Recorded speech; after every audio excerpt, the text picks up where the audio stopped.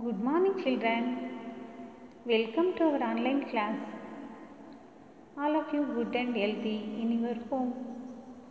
ಮಕ್ಕಳೇ ನಿಮಗೆಲ್ಲ ಕತೆ ಅಂದರೆ ಇಷ್ಟ ಅಲ್ವಾ? ಸ್ಟೋರಿ ಕೇಳೋದಂದರೆ ತುಂಬ ಇಷ್ಟ ಅಲ್ವಾ? ಇವತ್ತು ನಾನು ನಿಮಗೆ ಒಂದು ಗಿಳಿ ಕಥೆಯನ್ನು ಹೇಳ್ತೀನಿ. ಯಾರ ಕತೆ ಹೇಳ್ತೀನಿ ಮಕ್ಕಳೇ ಗಿಳಿ ಕತೆ ಹೇಳ್ತೀನಿ. ಒಂದೂರಲ್ಲಿ ಒಬ್ಬ ಬ್ರಾಹ್ಮಣನಿದ್ದ. ಯಾರಿದ್ದರೂ ಬ್ರಾಹ್ಮಣನಿದ್ದ.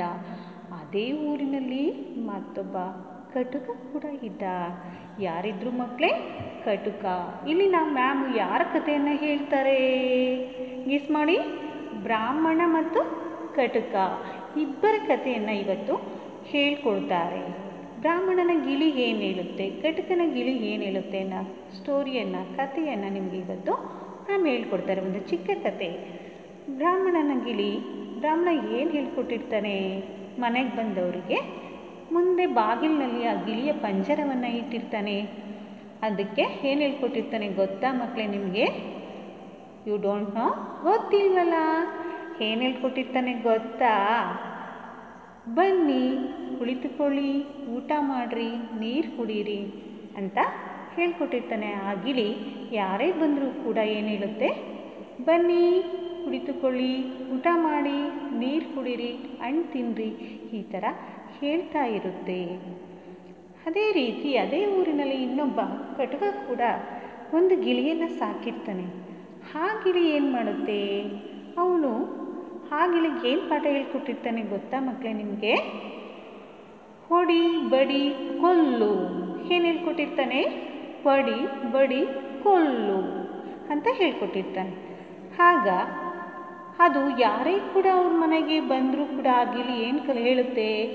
ಹೊಡಿ ಬಡಿ ಕಡಿ ಅಂತ ಹೇಳುತ್ತೆ.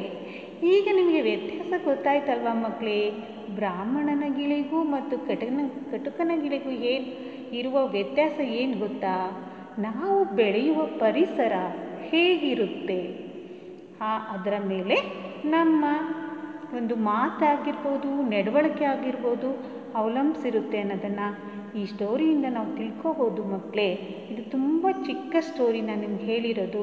ಇದನ್ನು ಜೀವನದಲ್ಲಿ ತುಂಬ ಚೆನ್ನಾಗಿ ಅಳವಡಿಸ್ಕೋಬೇಕು.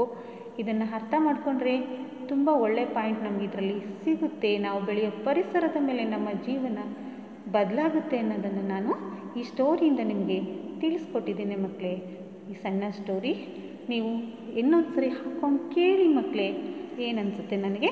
ನಿಮ್ಮ ಅನಿಸಿಕೆಯನ್ನು ಹೇಳಿ ಬ್ರಾಹ್ಮಣನ ಗಿಳಿ ಬ್ರಾಹ್ಮಣ, ಹೇ, ಯಾವ ರೀತಿ ಬೆಳೆಸಿದ್ದ ಕಟಕನ ಗಿಳಿ ಏನು ಹೇಳ್ತು? ಅನ್ನೋದನ್ನು ನಾನು ನಿಮಗೆ ಕ್ವಶನ್ ಕಳಿಸ್ತೇನೆ ಕ್ವಶನ್ ಕೇಳ್ತೇನೆ. ನೀವು ಕೂಡ ನನಗೆ ಅವಾಗ ಆನ್ಸರ್ ಮಾಡಬೇಕು. ಓಕೆ ಮಕ್ಕಳೇ ಸ್ಟೋರಿ ಚೆನ್ನಾಗಿತ್ತಾ? Okay bye